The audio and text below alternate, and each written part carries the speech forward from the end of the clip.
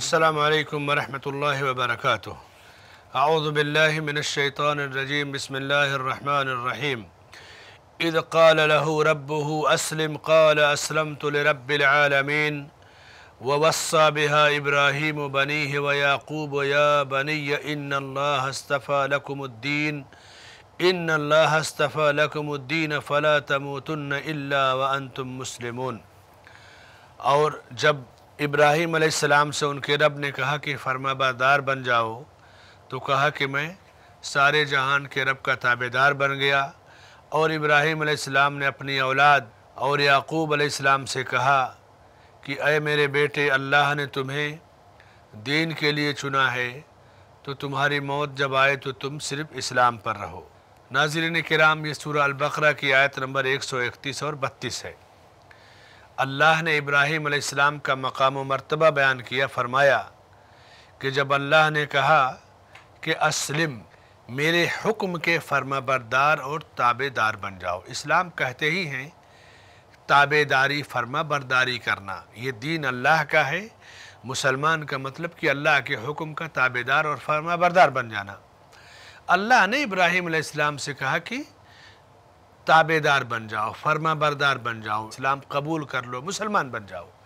यहाँ एक नुक्ता आप देखिए, आज हमारे मुल्क में जो सोशल मीडिया पे बड़े बड़े लीडरान कहते हैं कि इस्लाम तो चौदह सौ साल पहले का है, और हमारा मज़हब पाँच हज़ार साल पुराना है, बुद्ध मज़हब सात हज़ार पुराना है, ईसाई मज़हब दो हज़ार साल पुराना है।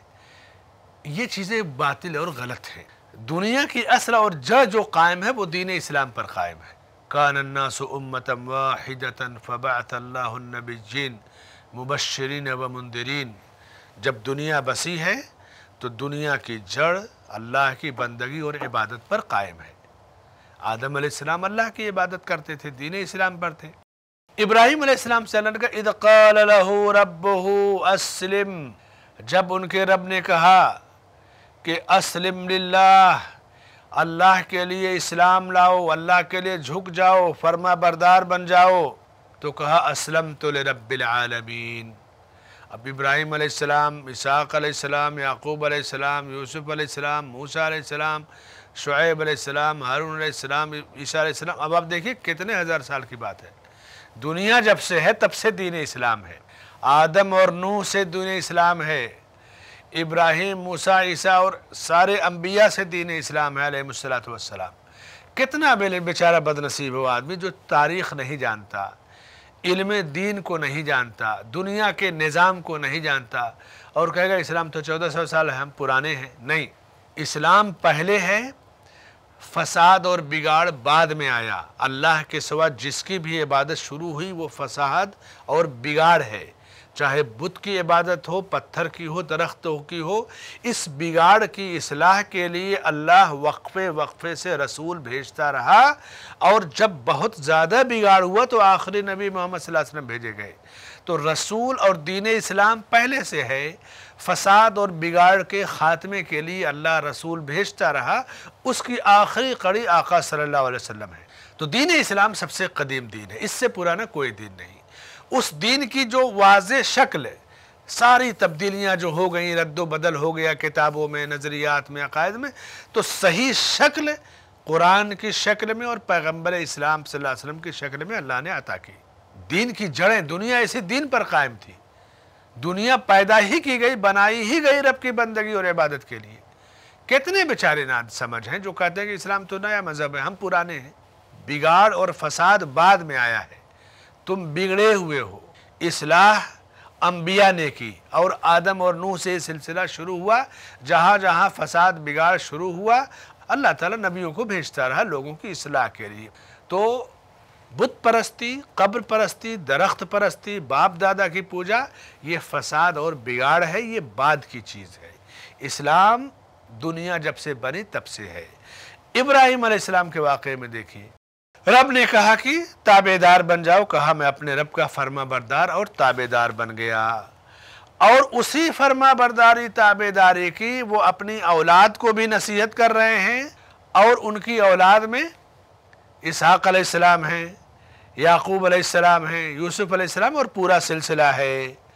और इसी दिन पर अम्बिया कायम थे, जो नसीहत इब्राहिम अलैहिस्सलाम ने अपनी औलाद इसहाक और या इस्माइल को की वही इसहाक अलैहिस्सलाम ने अपने बेटे याकूब को की, वही उनके बेटे याकूब अलैहिस्सलाम ने अपनी औलाद को की, और यही सिलसिला जारी और सारी था।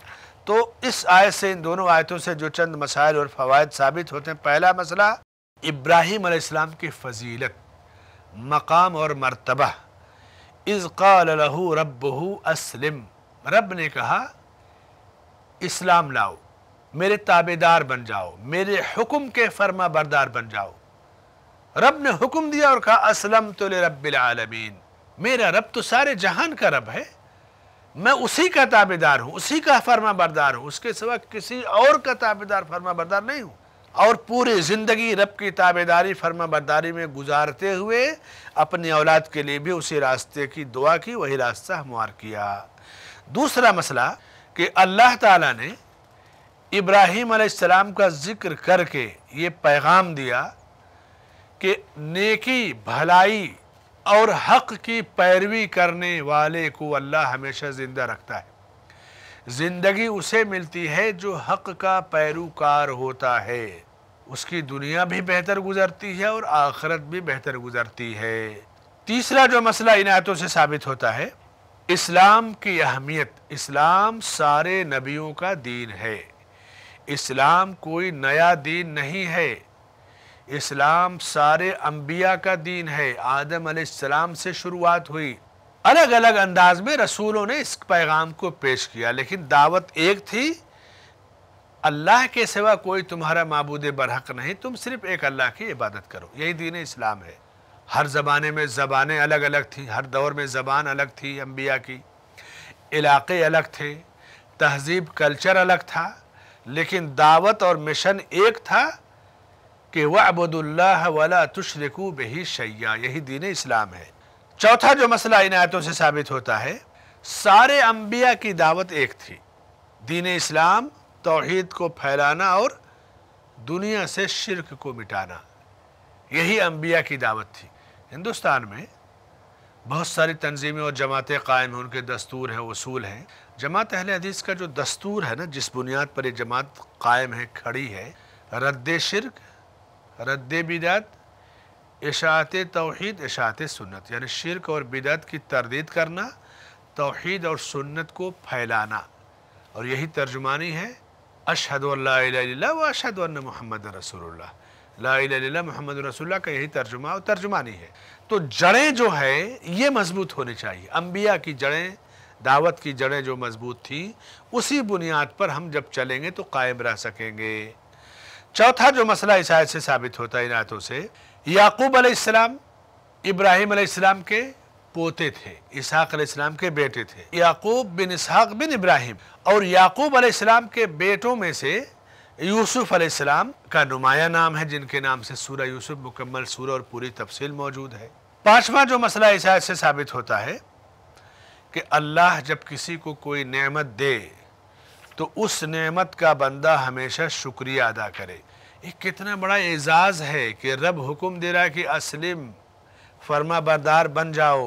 और औलाद से कह रहे हैं कि, या बने या इन अल्लाह लकुमुद्दीन। अय मेरे बेटो, अल्लाह ने तुम्हें चुन लिया है। तुम्हारा जो दीन है, दीन इस्लाम के लिए तुम्हें चुना है और तुम्हारे लिए इस्लाम को बतौर दीन चुना है, यानी दीन धर्म इबादत के लिए भटकना नहीं है। तुम्हारा दीन अल्लाह का मुकर करदा है। तुमको दीन के लिए चुना है और दीन तुम्हारे लिए चुना है। इसी पर चलना है, इसी पे जीना और मरना है। फ़ला तमोतन वन तुम मुस्लिमून। ज़िंदगी ऐसी गुजारो कि मौत आए तो सिर्फ़ इस्लाम पर आए। यह है इस्तकामत, और जितना ज़्यादा बंदा दीन से जुड़ा रहेगा, मुस्तकीम रहेगा, साबित कदम रहेगा, उतना ही ज़्यादा वो दुनिया और आखरत दोनों में कामयाब होगा। इसलिए जब दीन की नेमत मिल जाए तो अपनी औलाद में भी उसको दाखिल करना ज़रूरी है। बहुत खुश नसीब है इंसान। आज हमारी बदनसीबी यह है कि गरीबी में तो दीन याद आएगा। हाफिज़ और आलिम बनाना चाहेंगे, कम पैसे में, कम फ़ीस में या बगैर फ़ीस के बच्चे पढ़ लेंगे। लेकिन जब खुशहाली आ जाएगी तो अपने बच्चों को कन्वर्ट स्कूलों में भेज देंगे।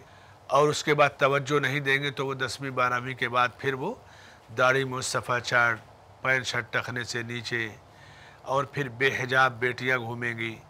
और उसके बाद फिर गर्ल फ्रेंड, बॉय फ्रेंड और फिर पूरा समाज तबाह हो जाता है। जो लोग यूरोप, अमेरिका या हिंदुस्तान के पोश इलाक़ों में खुशहाली आने के बाद रिहाइश इख्तियार किए, मस्जिदों से दूर अपने घरों को लिया, वो तो किसी हद तक संभल गए, लेकिन उसकी, उनकी औलाद नहीं संभल पाई। और आज भी जो लोग यूरोपीय ममालिक में हैं, जब वो आते हैं, हज उम्र करने अपने हालात ज़िंदगी बयान करते हैं तो कहते हैं कि हम लोग तो चूँकि दीनी माहौल के परवरदा थे, तालीम की वजह से वहाँ पहुँचे हमारी औलाद कुछ हद तक कायम है दीन पर, लेकिन उसके बाद वाली जो नस्ल है, वो यहूदी या नसरानी ज़िंदगी गुजारेगी, इसकी गारंटी नहीं है। तो इब्राहीम अलैहिस्सलाम की ज़िंदगी अहतमाम औलाद का अहतमाम तालीम का, तरबियत का, तस्विया का, तजकिया का, ये हमारे लिए सबक है कि हम अपने साथ आने वाली जनरेशन की कैसे हिफाजत करें। अल्लाह से दुआ है कि अल्लाह ताला हमें उस हसना के मुताबिक ज़िंदगी गुजारने की तोफ़ी अता फ़रमाए और दीन पर इस्तकामत अता फ़रमाए। अम्बिया की ज़िंदगी से सबक हासिल करने की तोफ़ी अता फ़रमाए। आमीन।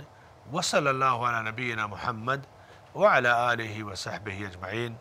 नाजरन कराम, सूर अलबकरा की आयत नंबर 131 30 और 31 की तफसीर के बाद करीब आपकी खिदमत में हम 132 की तफसीर के साथ हाज़िर होंगे।